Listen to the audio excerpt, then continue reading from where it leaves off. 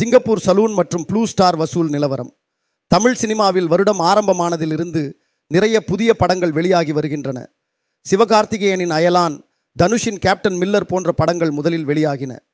அந்த படங்கள் வெற்றிகரமாக ஓடிக்கொண்டிருக்கும் போது கடந்த ஜனவரி இருபத்தி ஐந்தாம் தேதி வெளியான திரைப்படமார் ஜே பாலாஜியின் சிங்கப்பூர் சலூன் மற்றும் அசோக் செல்வனின் ப்ளூ ஸ்டார்.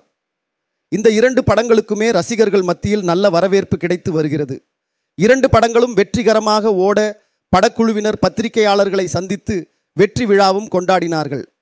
கடந்த இருபத்தஞ்சும் தேதி வெளியான ப்ளூ ஸ்டார் மற்றும் சிங்கப்பூர் சலூன் இரண்டு படங்களின் வசூல் விவரமும் நாளுக்கு நாள் அதிகரித்து கொண்டே வருகிறது.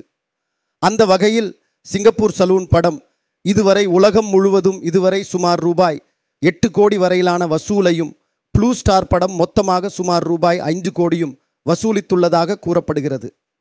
வரும் நாட்களிலும் படத்திற்கான வசூலும் கண்டிப்பாக அதிகரிக்கும் எனவும் நம்பப்படுகிறது. நன்றி மக்களே சப்ஸ்கிரைப் செய்ய மறந்துடாதீங்க.